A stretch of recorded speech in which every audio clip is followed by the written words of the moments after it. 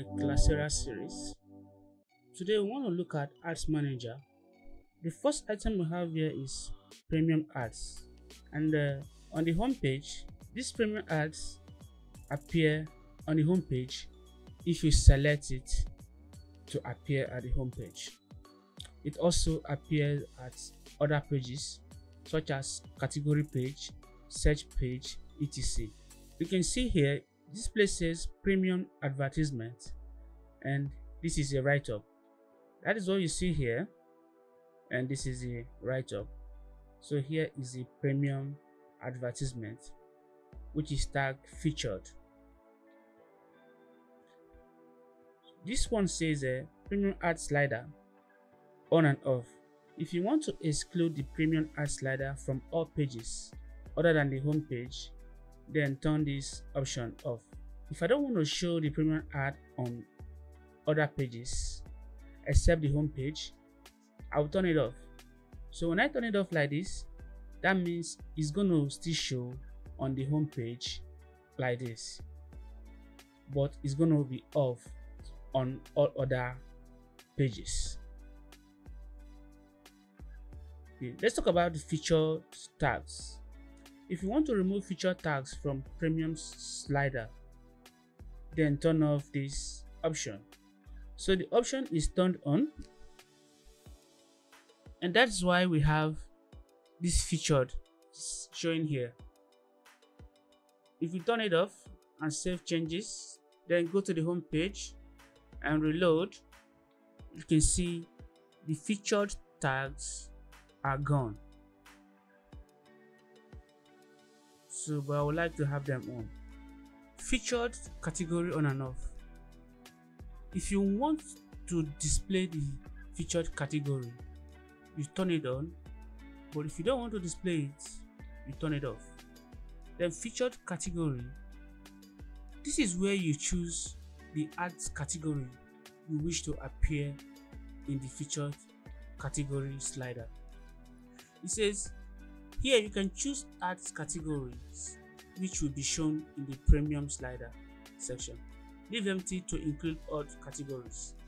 If you don't want a particular ad from a particular category to show in the premium slider, you don't include such category here but if you leave it empty this uh, premium slider is going to show as from all categories now how many ads in premium ad slider? Now from this place down to this place they work hand in hand in the sense that the setting starts from here. This featured category on and off right now it is set to off. But if you come here you will see two ads and these two ads is being controlled by these two here if i make it 4 and hit save changes then go over and reload you're going to see four ads okay so now if I decide to turn this on, everything changes. But the this doesn't change, this doesn't change. But these two we have to work together. So let's turn it on and save changes. Then go and reload. Now what do you see here? It's only allowed ads from uncategorized category. And that's because we said display ads from uncategorized category. We can add another category such as job and hit save changes. Then let's go back and reload and we have jobs, jobs, uncategorized jobs. So whichever category we choose here is what is going to be displayed on this section. If it's more than 4, for example, if I make it 6 and hit save changes and reload, it's to slide to show the six ads that we set. So how many images for premium ads? Three. That means while uploading your ads, you have options to upload just three images per ad. Then we have featured ads expiring. Do you want the featured ads to expire? If yes, you turn it on. And after a specified number of days, the featured ad is going to expire. So that is all about this section. Let's move on to the regular ad. And so this is for regular ads. And of course, regular ads are those free ads you post on the site. So it's good to turn them on so that you will have free ads posted by subscribers to your website. And here says regular ad expiring. The free ads, how long do you want them to last? We have from one day, different options up to one year and lifetime. Lifetime means it's not going to expire. But in case you choose a duration, when the ads expire, what do you want to happen to the ads? Do you want to trash them or you want it as expired? Here it says if you select trash, then a user's ad will be moved to trash and the user will not be able to restore the ad. That means the ad is destroyed, deleted. But if you choose to select expired, then the user can restore their ad anytime. So this expired is the best option. So that the subscriber will be able to repost and reuse the ad. How many images for regular ads? you specify the number of images you want in your regular ads. You can make it five. Then regular ads post limit. Do you want to regulate how many ads a user can post? If no you leave it off.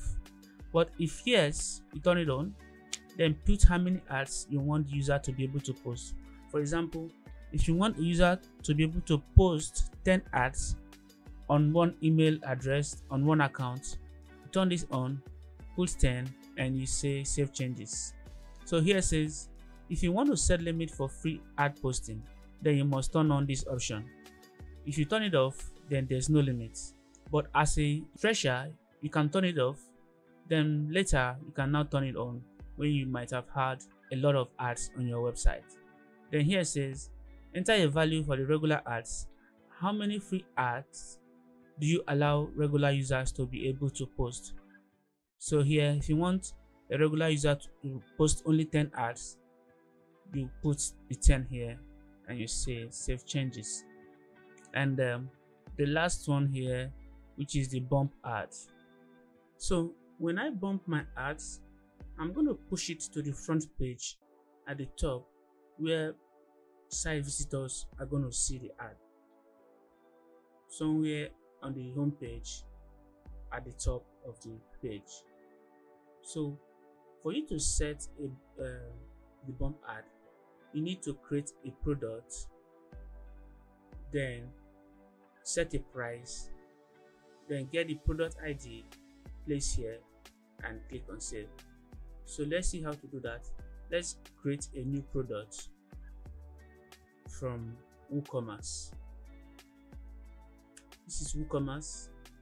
So I'm going to add a new product and I'm gonna call it bump art or just bump then I don't want the product to be shown on uh, anywhere on the site I'm gonna hide it so what I'll do is is to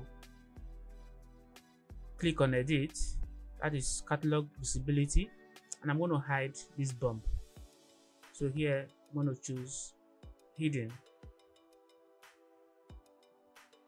Then, how much do I charge my site visitors if I want to bump their ad? I'm going to say $100. And that is all. So I'm going to publish. So I've uh, published the product successfully.